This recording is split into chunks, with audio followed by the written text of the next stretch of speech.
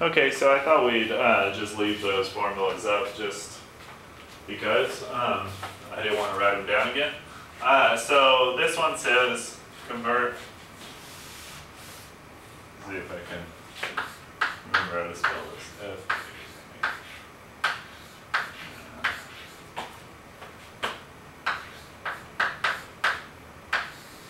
Hopefully I spelled that right.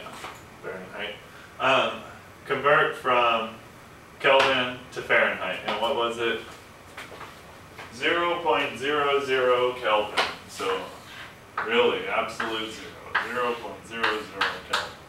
And they want you to convert that to Fahrenheit. So the first thing you're going to want to do is convert it to Celsius first. So remember, how do I do that? Well, I've got to subtract 273.15 from both sides here.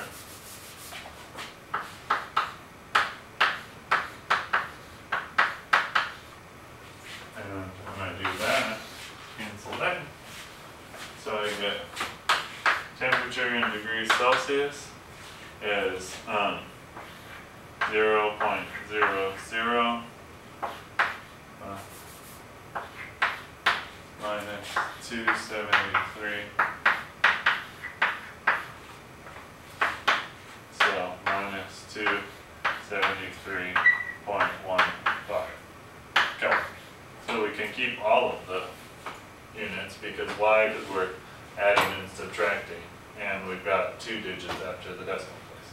So this is our new Kelvin and we want to, our, our new degree Celsius, sorry. Our new degree Celsius and we want to convert that to um, Fahrenheit, right? So we use this one up here.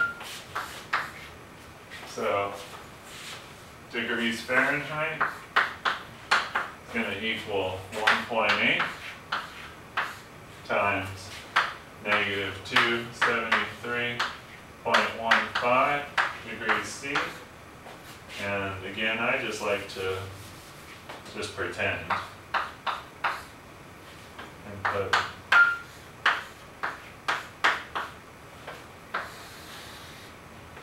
whoops. And then when we do that, sorry, my ringing, it's distracting.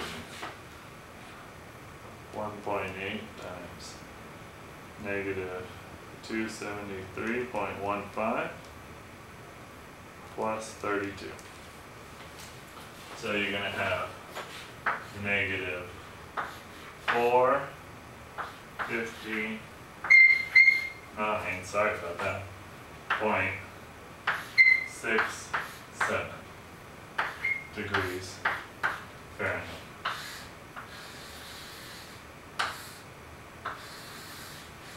So at absolute zero, that's how many degrees Fahrenheit you got. Okay, cool. Let's see who called me.